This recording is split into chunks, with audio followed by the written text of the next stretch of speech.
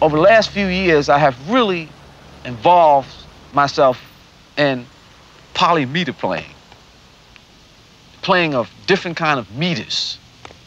In other words, different feelings. It's different feelings. I'm, my, this is doing one feeling, this is doing another feeling. In other words, this may be doing a sad feeling, this may be doing like a happy feeling. Sometimes almost like a contradiction that you set up with inside.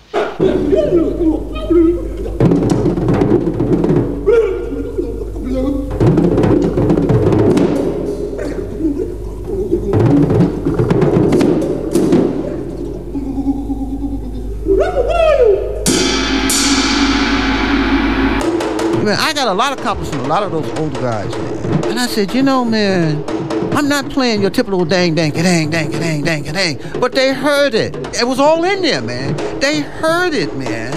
So I said, well, you talking about this thing swing, man? I said, swing, man.